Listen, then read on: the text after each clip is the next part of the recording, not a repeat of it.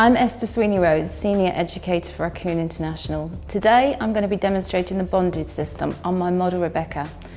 The advantages of the bonded system are being able to blend a multitude of colours into your client's hair for a really bespoke look.